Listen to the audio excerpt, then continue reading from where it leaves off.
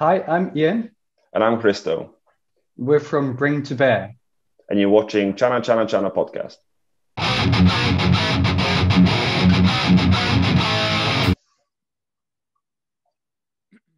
Hi, everyone. Welcome to another episode of my podcast. We have very special guest today joining all the way from United Kingdom.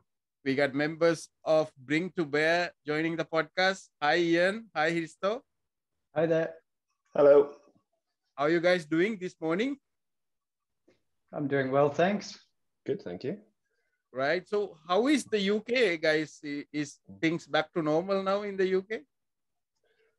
Yeah, things have have been back to close to normal for quite a while. There's talk about some restrictions coming back in over the winter season just to kind of keep hospitals afloat. Um, but for the time being, life is just, uh, except international travel, everything is pretty business as usual. Right. Yeah. How about the live music? Is is it back? Yeah, live music is back. Um, there are quite a few gigs that are catching up from being cancelled during the pandemic. So things are moving again. Um, international gigs are still being postponed with international artists coming here, but all the local stuff is going ahead. Right. So so when did you guys like perform live last time? We haven't yet. As as the band, you haven't performed live yet, right? Yeah, as Bring to Bear, as Bring to Bear, we haven't performed live yet. Right. How how about the rehearsals and stuff? Were you able to do it during the pandemic? Um, I mean, we were formed during the pandemic, so we were actually um, recording stuff individually and sending it over for a while. Um, we started rehearsing together when the restrictions lifted, so probably around July, August time. June, I think. June. Um, and our, June, July, yeah. you know, we wanted to play together in a room before we started booking any gigs. Right. which you know, it seems like a good plan. So our first gig should be this in December. Wow, so cool. So, guys, can you introduce yourself and tell me what you do in the band? Yeah, um, I'm Ian and I play accordion, keyboards, and do the growling. I'm Hristo. I play guitar and I do a bit of backing vocals. So, who are the other members? We've got uh, Izabela, our lead vocalist. Um, we've got Simon, our drummer. We've got Nick, who is our other guitarist, and then Richard, who is our bassist. Right. So it's it's it's a such it's a quite a bigger bigger lineup, right? You have a lot of people in yeah. the band. Yeah, uh, for, for metal band, six six is on the upper side of things. We can we can feel it when we book small practice studios. It's quite cozy. Yeah. right, right. Uh, we'll talk about the band a little bit more later. Guys, can you tell me a little bit about your childhood and tell me like what's your first like what's your earliest memory of music? Um, for me, my parents moved around Europe quite a lot when I was a bit kind of between the ages of nine and 14. Um, so that's kind of when I picked up music properly. So I started playing guitar when we were moving around. Um, first memory of music, I mean, my parents were into grunge bands, so they had a, a tape of Nirvana's Nevermind, and I remember listening to that when going to sleep when I was in probably just like preschool age. Right.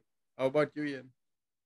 For me, um, my family used to travel around by car quite a lot, um, going from different sailing events to different places. And we used to have a lot of music playing on the car radio. And to be honest, most of it I absolutely hated and I couldn't stand the sound of the music.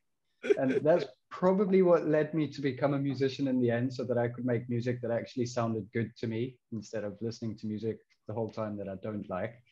Mm. Um, and then I started playing guitar at 16 when one day after school, I was at a friend's house and he played guitar and he pretty much just handed it to me and said, Yeah, here's a chord, learn to play. and so I did. And a few years later, um, I decided to then pick up accordion as well. And I just made the decision. That's it. I want to learn, and I did. So, so, so, what was what was the fascination like about the accordion? Um, it was actually just how fun it sounds, to be honest. Um, there are similar bands such as Korpiklaani and Turisas from Finland who use accordion with metal. And to me, it just sounded so fascinating and fun that I decided, why not? Sounds good, fun. Let me do it. Right, right. So, uh, Hristo, what about like who were like really impacted you uh, as a as a musician? Which bands, which artists really impacted you?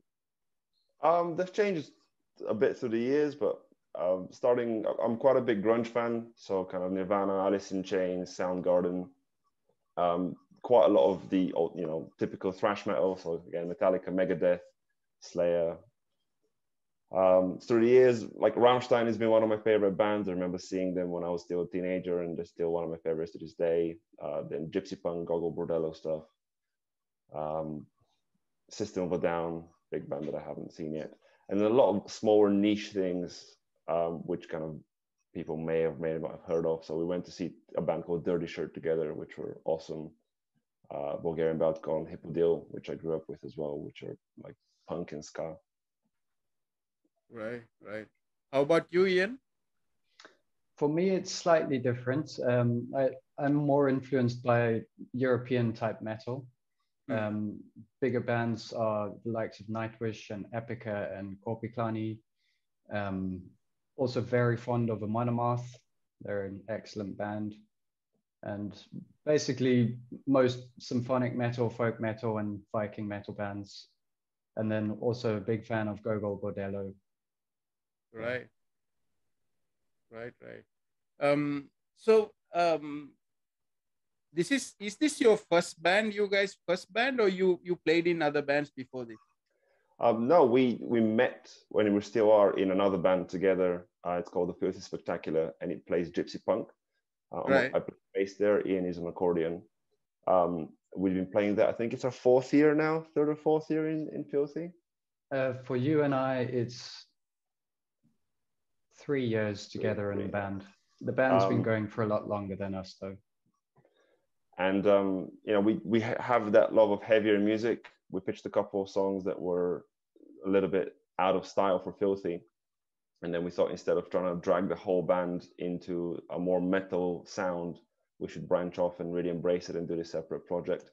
Yeah. and then when we sat down and worked with a more blank slate we really you know brought to life the spec of bring to bear so it started off as, an, as a branching idea but i think it's definitely taken a, different sound than what we we originally um, split off for. Uh, and before that, I think both of us have played in various projects. Um, we're we're in our thirties, so I've been in a couple of bands. I've been in a band pretty much consistently throughout my life since 16, 17. So right. So so this uh, this image, the image of the bear keeps coming up, like in your videos, and you know, uh, was this like how, how did the bear came to all this concept came up? Is this because of the name or the name came from the bear or what's the story? The, the bear comes from the name. The name is both a pun and a reference to kind of the um, adventure and fantasy theme of a lot of the the lyrics and imagery yeah um, the name uh, the, the name is a common phrase to bring something to bear so to make something happen or bring something about um, for example, you bring force to bear on something else, so you act on something with intention and force. And that was the idea behind the name and our intentions with starting this band. And it does add a really nice feature to have the, the pun, as Hristo says, referencing the bear animal. It gives us something visual that people can relate to as well, what uh, relate to with us. You know, they think of us when they think of a bear, and that's quite cool. Yeah, Bears as yeah. animals are incredible as well. I mean, they represent strength and courage, and they just get on with doing their thing, making things happen. Yeah, and and they have this sort of a sort of a aura with them, right? They're kind of like almost like human because they can stand up and they can like walk and they, they do all these different things and they they they I think they're one of the best animals who can really survive, right? They they change their diet based on the seasons and all this stuff, right? Yeah, and uh, you know we can learn a lot from from what they do because they don't try to in a way bully other animals they stick to themselves but they know their strength they know what they can do right i think the funniest thing i saw on the internet is uh, remember this this meme that that was going around like putin was riding a bear have you seen that actually we did a shirt um, as a competition for one of our songs that was released. It was a cover song, and we let people guess what song it was before we told them. And the winner won a shirt where we designed that person sitting on a bear riding it. Very similar pose, actually, to the Putin name. yeah, didn't realize it at the time, but yeah.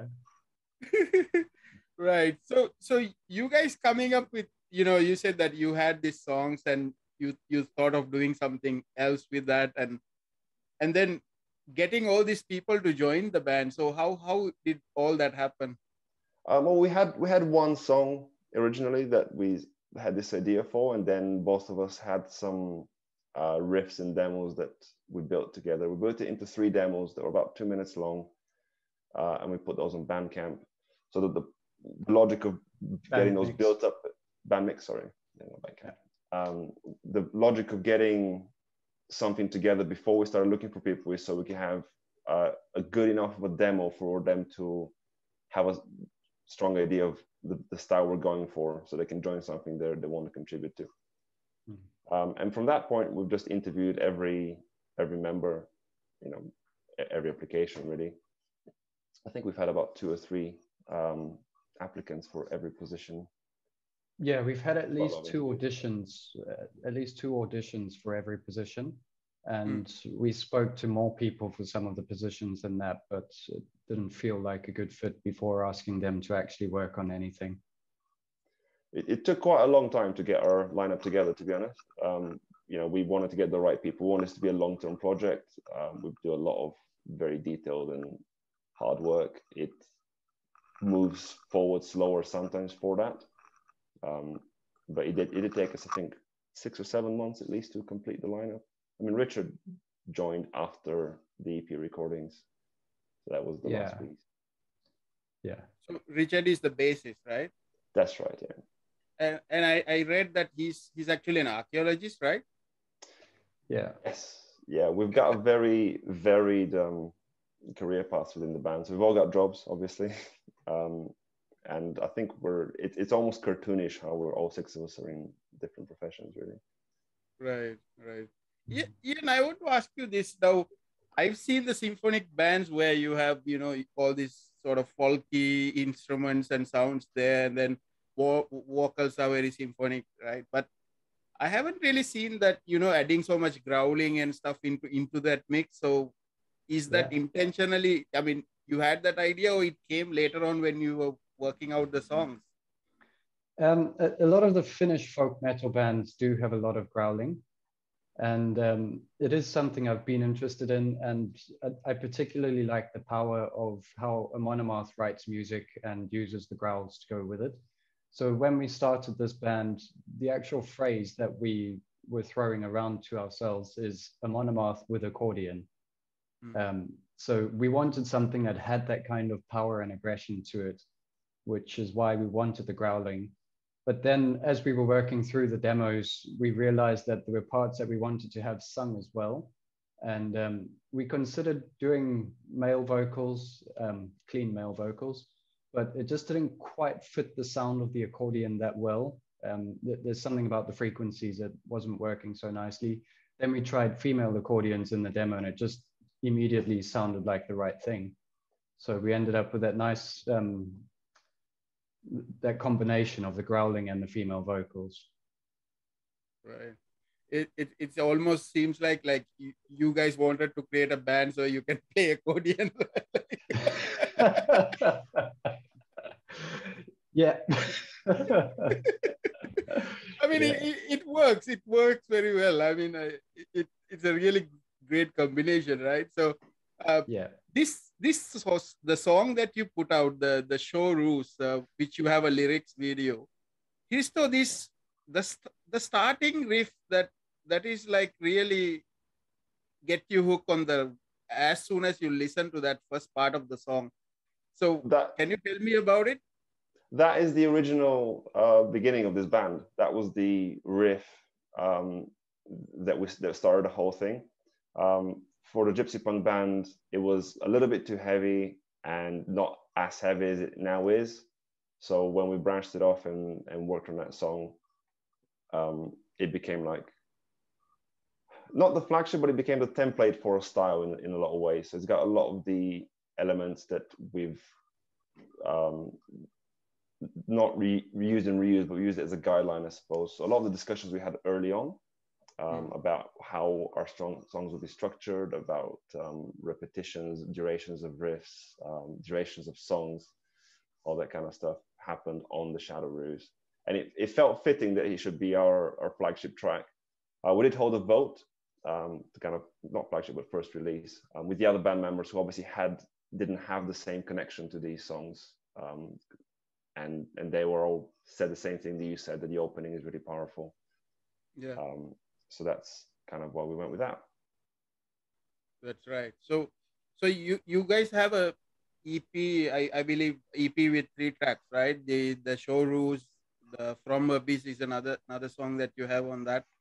The the one the other other one is basically the cover of Queen of the Stone Age, right? So tell me about that one, the No One Knows, because I mean out of all the songs you in the world, why did you select that one to cover? Um, so we held uh, again with a slow with a thorough and slow processes we built up a sorry start at the beginning. We wanted to have a cover song on our first ep the reason behind that is we wanted to showcase first how what our style is in contrast with something that's popular. So take something and rework it in our style. Uh, part of that was to increase audience and part of it was for us to really think about what it is that we sound like and then work on an existing track. Um, so we built this YouTube playlist where everybody was adding songs to it for maybe two, three weeks. All sorts of things, um, you know, pop songs, old rock songs, a uh, couple musical tracks, Disney tracks, just anything you could set your mind to.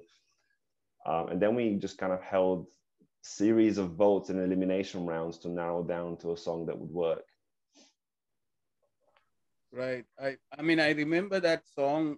That was the one from their the, the red cover, right? Queen of the Stone Age. The album was like I red cover. yeah, Songs of the Deaf, Songs for the Deaf, I think. No, not that Yeah. one. Sorry.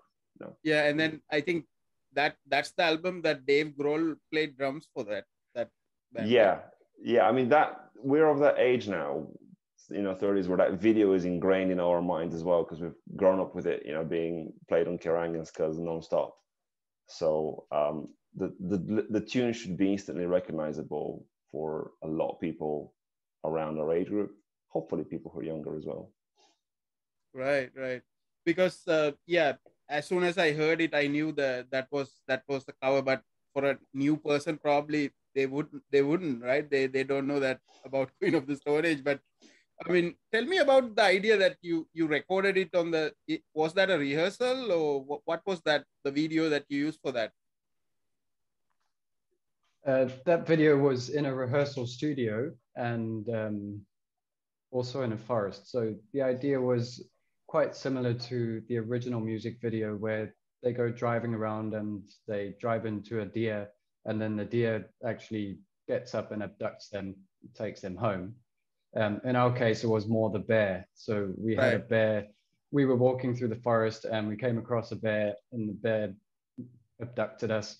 And then instead of taking us home, he decides to play bass guitar to us. Because actually, at the time, we didn't have a bass guitarist when we started filming that video. So we thought it's it'll be quite funny then if the person wearing the bear mask turns out to be our bass guitarist, um, because then we don't have to show a face for the bass guitarist in the video. So we did that in the forest, and then when we got to the studio, we thought it'd be nice to have some forest scenes and studio scenes so you can see us all performing the music as well as acting with the video. Yeah, that was a really funny one when when the bear like just like you know put his Yeah. hair up like the tree. It's uh, it's, a, it's a friend of the Yeah, band who's uh, wished to remain anonymous. He wants to keep it um, in his words like the Stig from um, uh, Top Gear, yeah. just unknown, the mystery bear. But his his movements are amazingly fluid. Um, it's it's fantastic. That bear head as well is incredibly difficult to operate in, so you can't really see out of the eyes. Uh, I think we have some footage of him walking into branches and trees and things. So we'll Yeah. see. chop it out, release it. yeah. right right so so you guys have three songs out so what's the plan any new songs coming up when when is the full album going to be done Um, so we don't intend to release in terms of albums, and that is because we had a chat about this. So st- starting with a blank slate with a new band, let us really think about how we want to release our music. Album as a label seems very irrelevant in today's day and age, where everybody consumes music by streaming and piecemeal.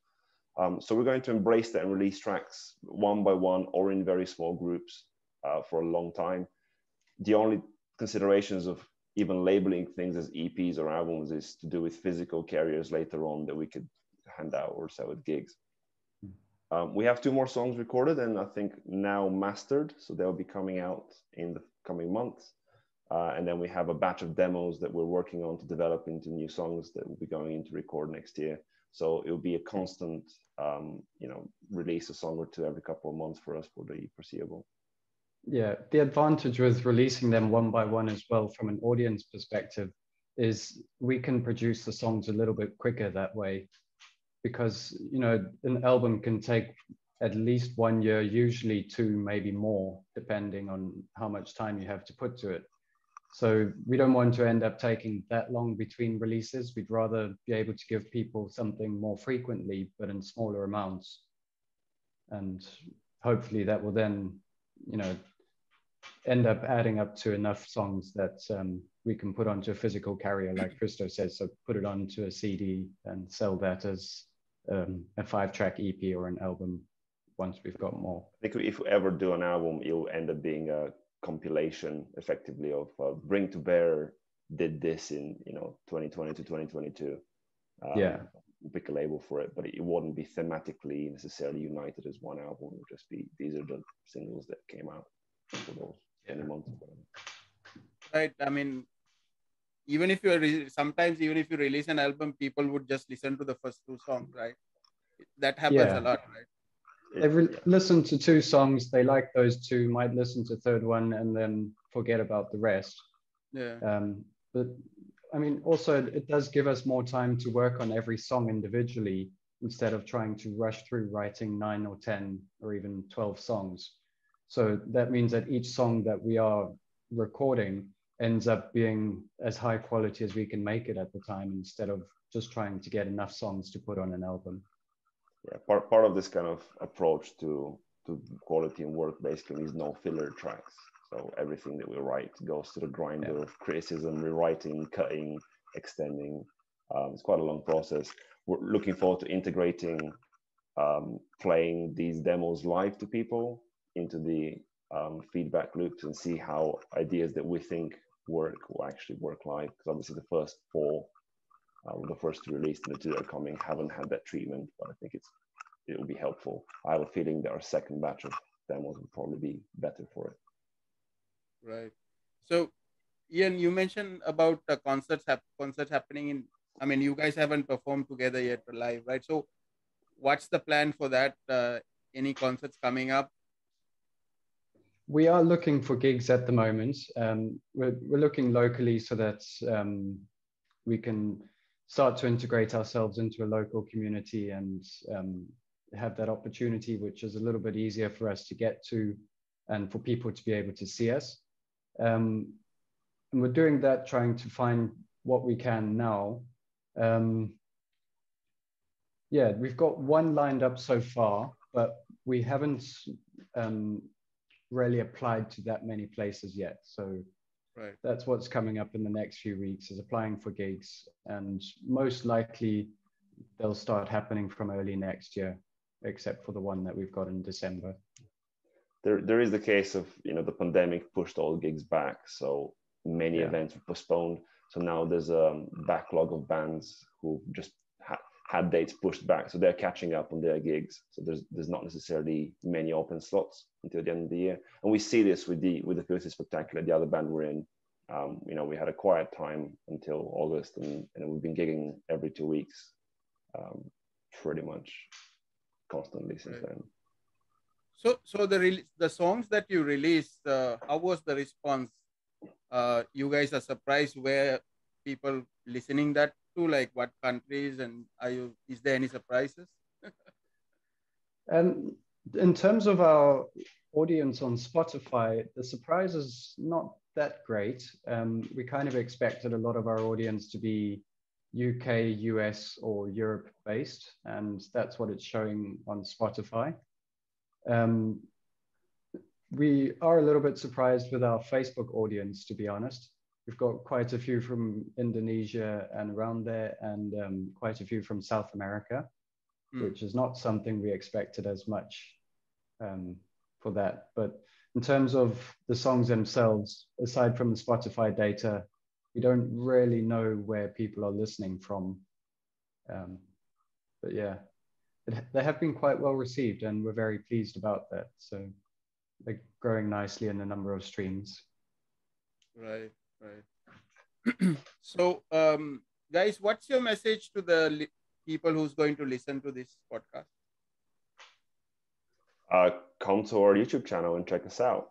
See if you like the music. Because if you know, if you like the music, excellent. If you don't like the music, us talking about it is of no interest to you, really. So if you don't like the music, you've wasted an hour of your life. Unless you like accordions. And I mean, let's be honest, everybody loves an accordion. One of the best accolades we had actually, um, one of my old flatmates who absolutely hates accordions with a passion, um, listened to our tracks and said they were quite good. And I was, so that was, you know, the highest compliment. I'll take that. You've managed to use an instrument he despises in a way that appeals to him. I'll take that. yeah. Uh, anybody you guys want to shout out to? I mean, the rest of our bandmates, obviously, is, is the first yeah. port of call. Um, Devo, our PR manager, who's been amazing in helping us handle all the um, setting up all these interviews and all the admin that comes with releases. Um, a hand shout out to my other half, Holly, who did help us a lot with our demos and is helping us with our videos and artwork. Anyone else? Yeah. Um, I think that's pretty much it. And thanks for having us on. It's been great. Right. Uh, so, so guys, uh, thanks for joining. And as I said, that riff of the song is why I wanted to talk to you guys because that was like I got hooked when I listened to that part, that song. So I mean, I'm really excited for all the songs that you're going guys going to put out. I accept like you will put more videos and stuff like that as well. So looking yeah. forward to that and all the best with your with your plans. And tell everyone how they can follow you and how, how they can listen to your music. So you can find our music on almost any imaginable streaming platform. That would be Spotify, YouTube Music, iTunes, Amazon, Deezer, um, all the ones that I don't know about, most of them will have our, our music. You can find music videos on YouTube, um, the YouTube video side of it. Uh, you can find us on Facebook as Bring to Bear. You can find us on um, Instagram as at Bring to Bear Band. And we're also on Twitter as Bear underscore Bring. We are everywhere just type it in Google and it'll take yeah. you. right. And you can find us on Bandcamp as well. right, guys. So uh, yeah. Thanks for joining uh, the podcast. Uh, looking forward to more songs from you guys. Have a great thanks day. Thanks very much. Thank you.